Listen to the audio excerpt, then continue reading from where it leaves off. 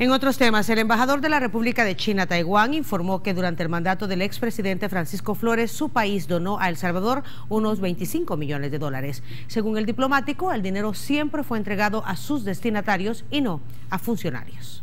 El embajador de Taiwán aseguró que la cooperación con otros países, incluso El Salvador, siempre fue entregada directamente a sus destinatarios y no a presidentes. Eh, nosotros entregamos los cheques a nombre de las instituciones que eh, a base de los planes de cooperación eh, se, nos indica.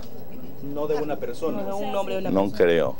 El diplomático informó que durante el gobierno del expresidente Francisco Flores, la cooperación fue de 25 millones de dólares, pero desconoce si son los mismos que investiga la Comisión Especial de la Asamblea Legislativa. Eh, con el expresidente Flores siempre mantenemos el mismo modo de colaboración y eh, si me acuerdo bien, su periodo eh, y la cooperación era de 25 millones de dólares, ¿verdad?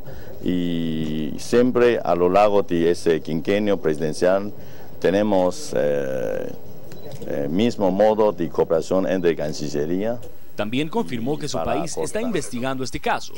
Y así lo que podemos encontrar siempre hemos compartido con el gobierno salvadoreño. El embajador de Taiwán aclaró que este tipo de problemas no afectará a futuras donaciones hacia nuestro país. Esos son los hechos de hace 10 años de los pasados gobiernos de los distintos partidos, tanto en Salvador eh, como el, Partido de Taiwán. El diplomático espera que las instituciones de nuestro país investiguen quiénes son los destinatarios de la cooperación entregada al expresidente Francisco Flores. Estamos coincidimos en la importancia de la justicia. Para Teleprensa, Canal 33, Armando Godoy.